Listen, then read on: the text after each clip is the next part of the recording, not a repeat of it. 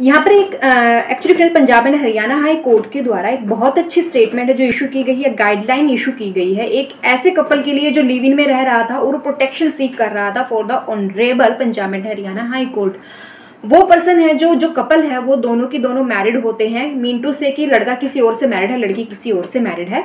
और वो high court में फॉर द प्रोटेक्शन है जो अप्लाई करते हैं in Punjab and Haryana high court तो वहाँ पर बाय द ऑनरेबल कोर्ट जो ऑब्जर्वेशन है वो ये की जाती है कि दोनों के दोनों मैरिड हैं किसी और से। ठीक है, हर पर्सन के पास अपना राइट है कि वो अलग से अपना जो है, रह सकता है किसी और के साथ। लेकिन इसका मतलब ये नहीं है कि आप अपनी शादी, जो आपकी शादी है, वो आपका वहाँ पर डाइवोर्स नहीं हुआ है, वो कॉन्टिन्यू है। और पहली शादी के कॉन्टिन्यू होते हुए आप हाई कोर्ट में प्रोटेक्शन लेने के आ रहे हैं। क्यों आ रहे हैं? क्योंकि आपको अपने जो पार्टनर है, आपका जो कपल है फ़र्स्ट मैरिज से, उससे आपको कहीं ना कहीं डर है।